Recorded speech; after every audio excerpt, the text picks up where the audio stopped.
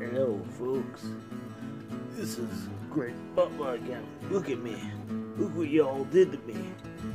I lost my my damn hair. You would go support Mighty Taco, fifteen dollars an hour. I'm a damn hair fella. Look at. I need my taco. I need my Mighty Taco. I can't survive if you don't give these folks fifteen dollars an hour. They they, they Ethans.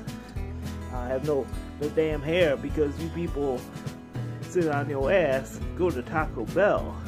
You go to go on down to Bob Evans. Now Bob Evans, that place is a real shithole. And yeah, you folks go over there and crave that shit. No, you go over to the Mighty Taco where people people want, want me to see I'm dying over here, folks.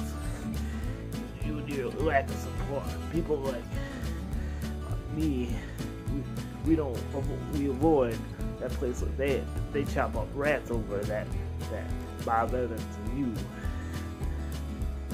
You folks go over there and you chow it all down.